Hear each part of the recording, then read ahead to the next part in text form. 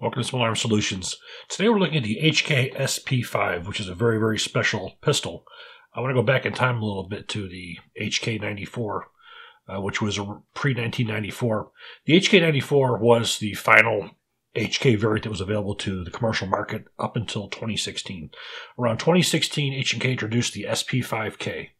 Now, the SP5K, as I said, that was the first HK MP5 variant offered to the commercial market since 1994. And as happy as it made some people, it upset other people because they got it, but they just didn't get it right. The SP5K did not have a threaded barrel and it did not have the tri-lock mount for a flash suppressor either. So you would go out and you could spend $2,600, $2,800 on a HK SP5K pistol that if you wanted to put a suppressor on, you would have to remove the barrel, put an aftermarket barrel in there that wasn't H&K, so you could be able to mount your suppressor, which really upset people. You know, to have to spend that kind of money and then not be able to suppress it without having to put another barrel on it. And of course, one of the things that makes these guns so special is the HK barrels, the unobtainium French steel that they use, uh, the polygon rifling, plus the, the fluting that's in there. The other thing that upset people was the fact that they did not have the paddle magazine release. That was one thing also that was missing. And the other thing it was is it had 1913 rails uh, mounted to the receiver on top, which was not which you would have you know, an original uh, HK MP5K. So they really didn't get it right because again, people wanted to have that ability. Now, if you didn't want to didn't want to have to put a suppressor on it, you were fine. It wasn't an issue at all. But for the most part, it just wasn't what people wanted. In 2019, HK rectified themselves with the SP5, which you see right here. Uh, they listened to all the complaints and they fixed them. As you can see on the SP5, we have a threaded one half by 28 threaded uh, muzzle, and we also have the tri-lock for the tri-lock um, suppressor mounting system. We have the standard profile HK handguard, and we do have now the paddle that's on there, and we have the traditional uh, top, which did not have the 1913 rail on top, where you'd use a standard H&K type or arms type clamp to mount your optic on there. Now, looking at this, you can see we have a pistol, we have a polymer uh, back on here, and we have uh, we have a sling spool. Now, this is utilized to have a sling put on there, so you would put the sling on and push forward. That would help you stabilize it. That didn't work well too well for me, so I ended up going with a SB Tactical brace, which we're going to talk about in just a few minutes. But looking at it, this is exactly what everybody has wanted. They wanted a HK HK MP5. Now, prior to this, I mean, of course, you have to look at the price. The price tag was the thing that kills everything that's H and K. This price tag was around twenty eight hundred dollars. Now, there's a lot of competition out there. You had uh, you know, Pakistan Ordnance Factory, you had uh, PTR, you had Zenith. So you had several you know several options now of buying uh, buying MP5 type rifles and SMGs. Uh, and this is particularly being a pistol, you have no problem registering this as an SBR and putting a standard stock on it if that's what you chose as well. And of course, it would take on any MP5 upgrade that you had. Now, uh, magazines we have here, we have the standard HK steel magazine. Another magazine that I tried was the Elite Tactical Systems Polymer magazine. Now, talking to a lot of people, they did not like these. They said they, these swelled up and had a difficult time removing them. I have to say, uh, I have two of these, which I tested, and neither one of them would swell up when it was uh, they were full. They were they pulled free without a problem. There was no problems with reliability whatsoever. So um, I have to give a good mark to the uh, ETS for the fact that I've had no problems with the ones that I've had. So, as you previously stated, I had great difficulty with the stock. So I got a hold of SB Tactical and I said, I want to try your new HKPDW uh, defend, you know, the, the brace. And basically, what it is, it's the exact same thing as a standard MP5 stock, but it utilizes a brace. And it had your three positions, and this is exactly what I wanted to try. So it was very simple to replace. All I had to do is pop out the rear pin, pop that cap right off,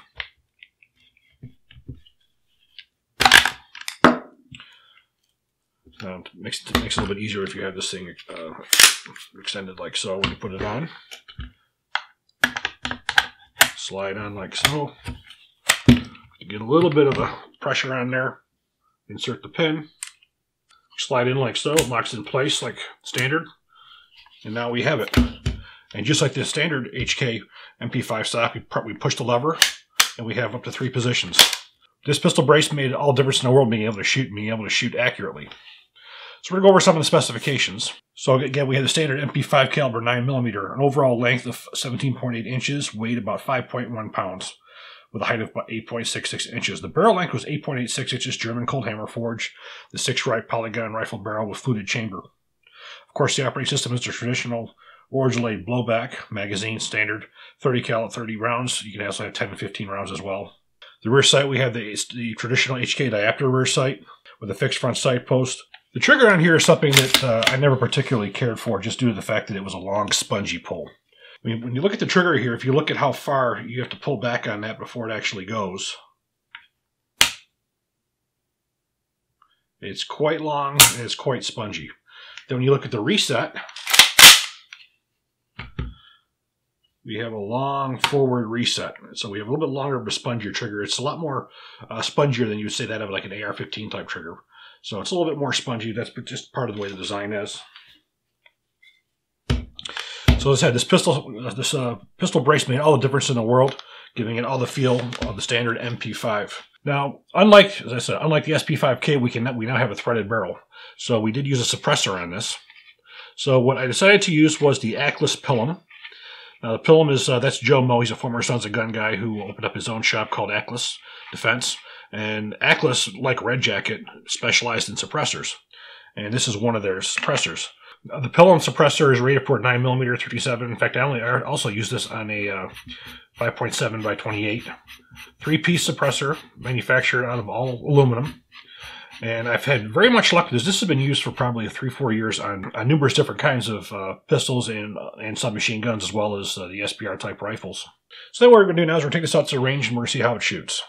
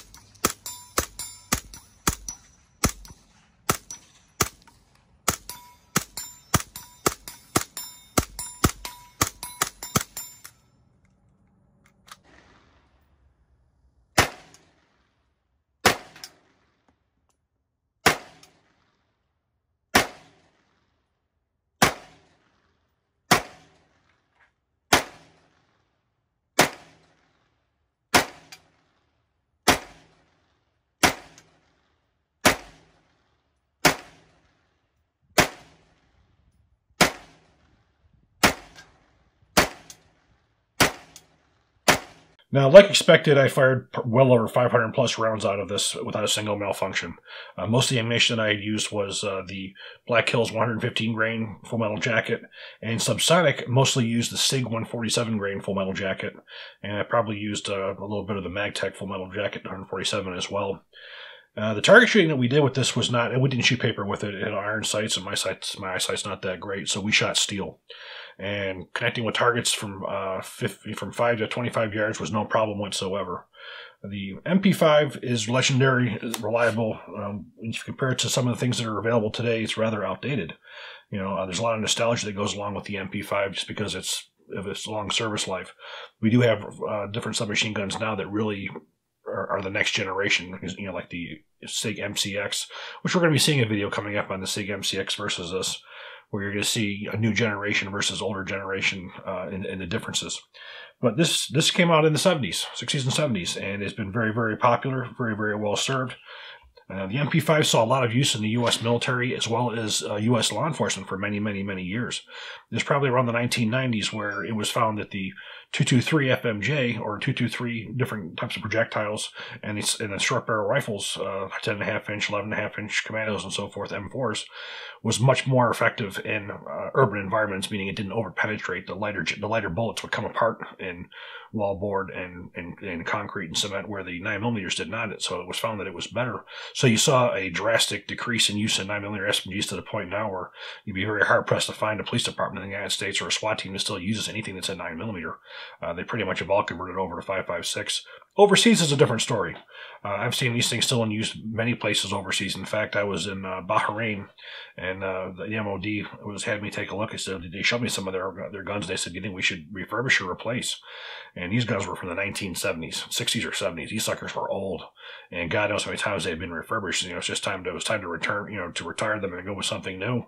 And my recommendation was them to go with an M4 type rifle or some kind of a 5.56 because it was outdated. The 9mm concept or 9mm submachine guns, although not popular in the United States, they're still looked at as viable in other parts of the world. Uh, we saw a lot of them in the Middle East. I saw a lot of them in South America uh, and even in Europe to this day. But uh, military wise, not so much. Uh, you have just many, many better options. The 5.56 uh, SBRs, as I said. And of course, now with the introduction of the 300 Blackout, it even puts the submachine gun further and further uh, out, of, out of use or out of need. So uh, overall, it's an excellent weapons platform. Uh, I've been very, very pleased with it. You know, we're going to take a look at it a little bit further. We're going to take it apart. There's nothing really special about it. It's about the same as you would see for any 9mm SMG in the market. So let's take this thing apart and remove the suppressor first. Good deep thread so, this, so the suppressor's not going to come off. So we have our rear takedown pin. We're going to pull that right out. And that needs a little bit of a little bit of help. That pops out like so. We remove the pistol brace right out. We can push forward to release the magazine. Pull downward on the pistol grip. Remove this, that whole area. Pull rearward on the bolt carrier charging handle. Then we drop out the bolt and bolt carrier group. At the front, we pop that out. And now we have the handguard that we need to remove. That's really all there is to it. Stamp sheet metal. You know, the cost always amazed me because if you look at how inexpensive these are to make, uh, literally how much they cost is just literally mind-boggling. And once you have everything apart, close up with a bolt and bolt carrier, you can see your roller, your rollers right here. When that thing is in the lock position, you can see that the, the rollers engage, disengage, engage, disengage. So you have a, a relatively heavy bolt, uh, which is necessary for the for the delay. This assembly here, you just rotate that quarter turn, comes right off. You can remove your firing pin. That's all there is to it.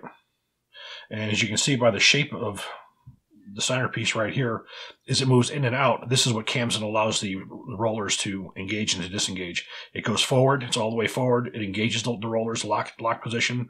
As it as the bolt moves rearward to unlock, it, it unlocks the rollers, allowing the bolt to unlock and move rearward. Reassembly, drop your firing pin in like so. Put it into the, the bolt carrier.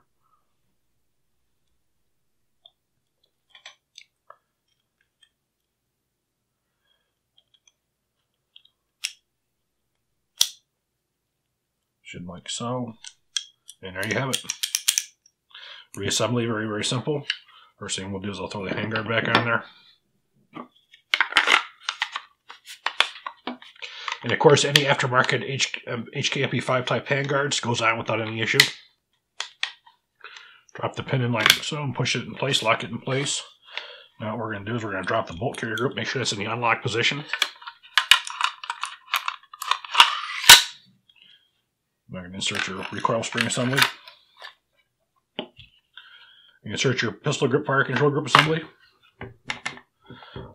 We'll put the original cap back on it. I'm going to push that into place.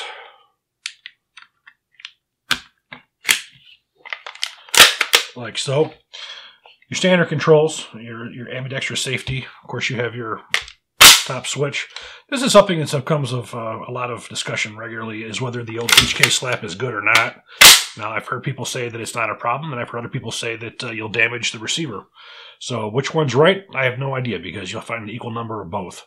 Traditionally, you see people doing the HK slap. It's pretty, it's pretty common. For those of you who aren't familiar with the MP5, the bolt does not lock open the last shot. After you hear it, you hear a click, and then you either you, you drop your magazine, insert your new one.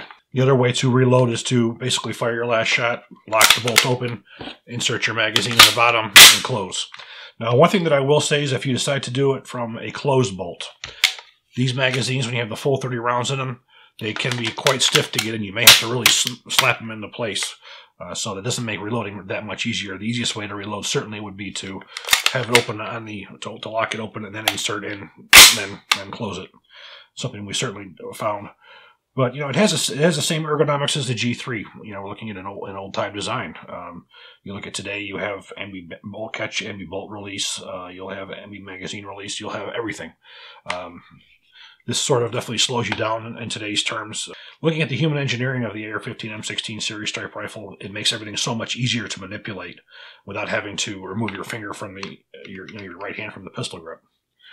But there's a lot of nostalgia with the MP5, and it's always going to have its fans because of that. It's you know it's got its die-hard look to it. It's got its 1980s uh, anti-terrorist look to it. it. There's a lot of tradition that goes in there. Are there better current military options now? Absolutely. This, for the most part, in my opinion, is a very obsolete system compared to systems like the MPX, the Colt 900 submachine gun, the CZ Scorpion. Um, guns that are much easier to use, much quicker to use, uh, much you know more modular. You can utilize you know, your rails, uh, your laser as laser designators, your cameras, your any kind of accessory that you would want to have. You have those that ability. So, but you know, sometimes sometimes things are from the past and they stay that way. Uh, I feel that's the way this is. But HK will always sell these because you will always have the people who are interested. Uh, HK really did a great job with bringing the SP5 out uh, to the commercial market. Uh, it's just unfortunate that price tag is so prohibitive for your average person. I'd love to have one of these in my collection, but I just can't justify you know nearly three thousand dollars by the time it's all said and done uh, to have one with the tax stamp and so forth. This is really an awesome uh, pistol. Um, I certainly, if I had this in my collection, I would be SBRing it. I'll be making it into a standard MP5 with a standard stock. And I think a lot of people are going to end up doing that because you can have exactly what you wanted and you can have that HK name on the top. I hope you all enjoyed this video. If you do, please click like, please subscribe, even better, share. Thank you.